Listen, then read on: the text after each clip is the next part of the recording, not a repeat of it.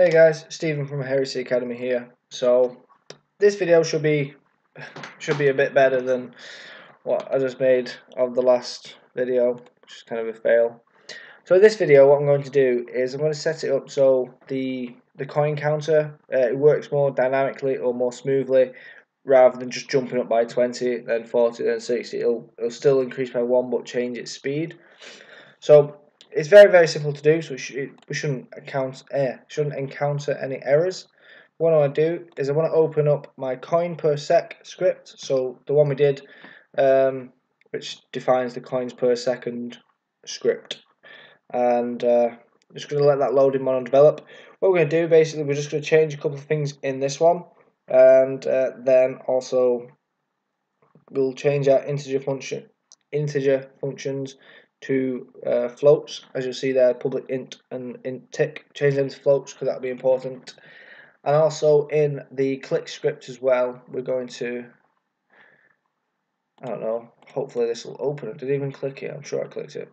In the click script as well we're just going to change how it writes here instead of like plus coin divided um, coin per click and stuff like that.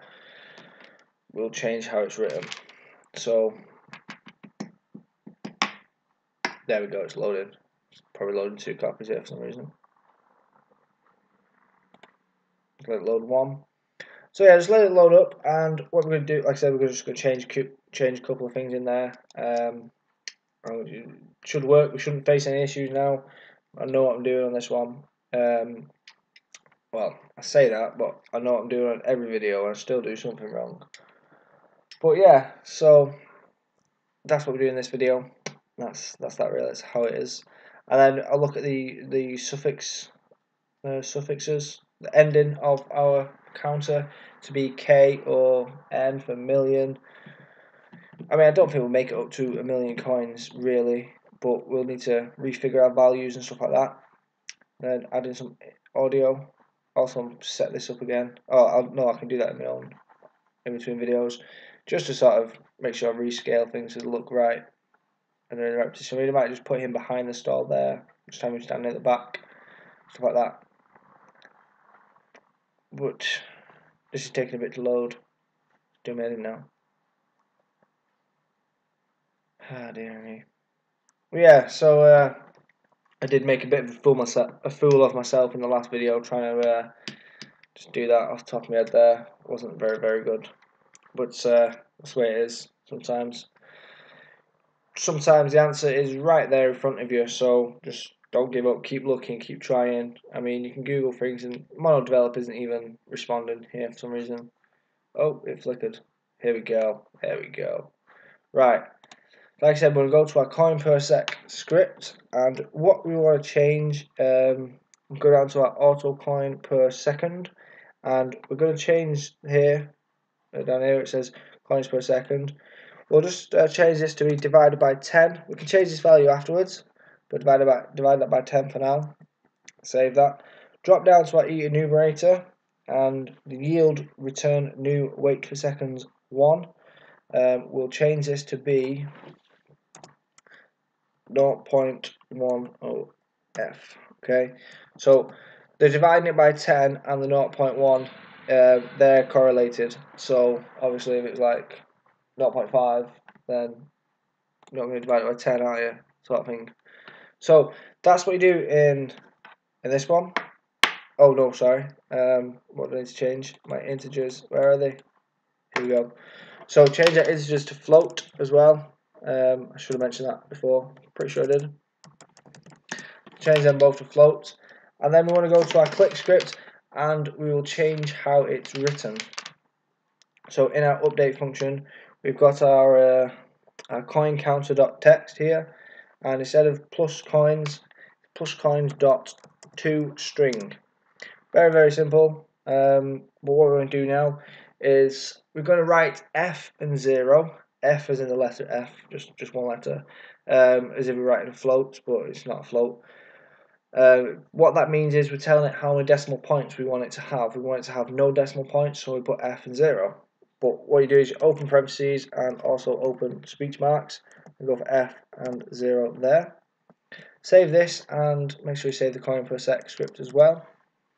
jump back to Unity and if everything just went wonderfully, which it should, shouldn't have any errors. Ignore this error here, this GFX window. I don't know if you guys will have it. I get it all the time. I don't actually know what it means.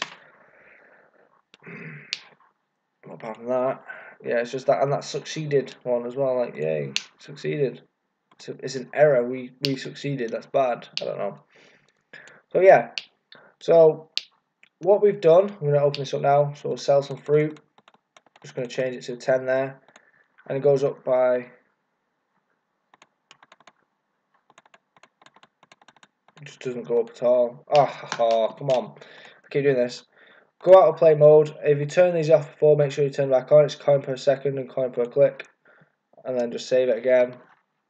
And then play it again. Because I keep turning them off and then forgetting to actually use them. Put them back on. Again, sell some fruits. You get 10 fruit. There you go now. It's going up by 1. It's going up completely by 1, not by 1.000 or anything. Sell some fruit and get some quicker. It's going a bit quicker, a bit quicker. So you see how this this could be considered to be better. That's what a lot of games will be like. It'll go up, still incrementing by one at a time. Pardon me. so change this up now to be like. I'm just trying to see if I can get a higher number so it runs off. You'll understand what I mean in a minute. Probably won't really. Won't be able to manage it. Um,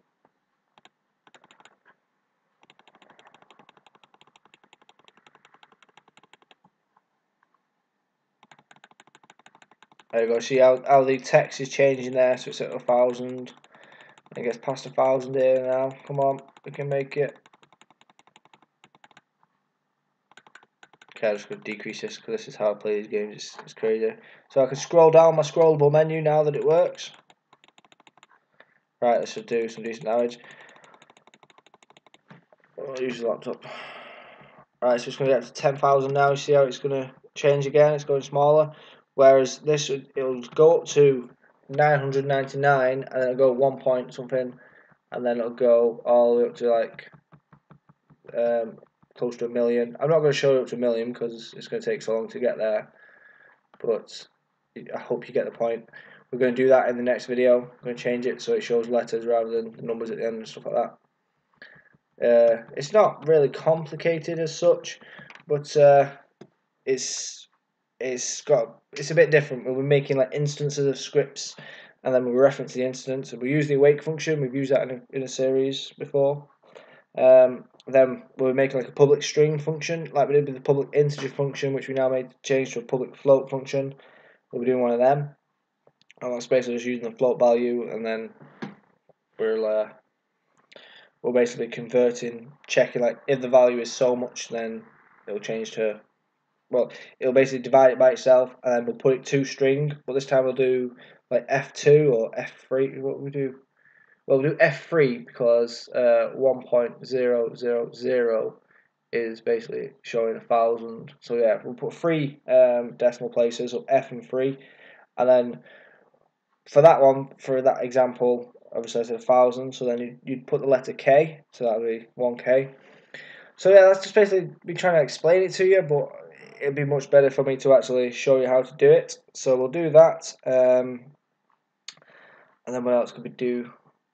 could toggle, like could do an upgrade button to turn off the, the scroller here. So just a button up there. Um, adding, adding some more UIs. Changing the sell fruit to be the, the farmer, so you can click on the farmer. I mean, you guys, in fact, you know what, I've got a better idea. Sorry, before we do this, before we end video, go to sprites. Um, in fact, let's import a new sprite there. And we'll just go for the apple. I'm just going to drag in a sprite, an apple sprite here. So it's transparent, that's good. So on my clicking button, I've decided to change my mind. I'm going to go to my image here. And I'm just going to drag the apple image over there. And I'll get rid of the text now, don't need the text. I Don't need the text at all. So drag the click button. Oh, helps to zoom in. I'm looking at the game screen as that's what it is, as if that's what it is. But we're just going to drag this up to here somewhere, so it's in the middle still. drag the anchor point so it stays about the, well for starters we'll sort of make it a decent size like that then drag the anchor points to be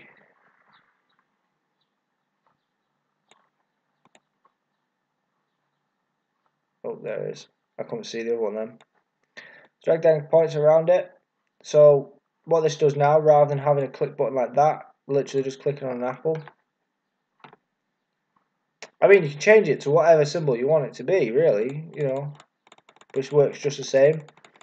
What you could do now, is said though, every time you click it, you could uh, set up sort of like a particle system or just instantiating. Um, oh, I haven't set this up to to follow that yet. I forgot to do that. It's not a big deal, really. I can show you how to do that afterwards. Because I mean, make it bigger, it fits again. uh, that's that's the that's the way to fix it. Just scale it up a bit, it'll work. But yeah, so using this, uh, every time you click it, it can just drop some apples out or something. Uh, obviously, the background at the moment is just basically an image, um, so you can make it a bit more interactable. We'll move these around, so put them up here or something. And we can take away the button element completely and just have it as the text written on here, or you know, maybe get rid of the farmer now and make another section there or something. Well, I keep changing my mind on how things are going to be done. But yeah, so that's what we do now, We're having an apple rather than the button. It still works as a button, but you know we've got rid of the text and we've changed it to an image of an apple. So that's that. Um, the main point of this video though was to make it so it increases by a certain amount per um, by per certain uh, certain speed. Sorry, I forget what I'm saying now. Uh, Yeah. Yeah, no, I just thought it didn't work then, but it's still, it's going up at the right thing. Not my set speed. But we can edit that out, we can edit it around a bit as well. If you go into like the script, my script wasn't on for a second. Was it? Yeah, so we divide it by 10 and 0.1. But we can put it to like 0.2 and then change that around. Just change the speed of how it goes sort of thing. But that's what we was trying to achieve in this video, so that's what we did. And it added in the apple there, just, just to sort of throw that in there. So yeah that's what we got so far. Um, hope you like this video and hope you'll subscribe to catch up with the other ones. Uh, drop some feedback and comments. Let me know what you think. If, if I'm just going absolutely terrible, feel free to let me know because I reckon that's what you're thinking. So, yeah, I'll see you in the next video. I mean, I won't see you in the next video, but you'll see my next video, I hope. See you later, guys.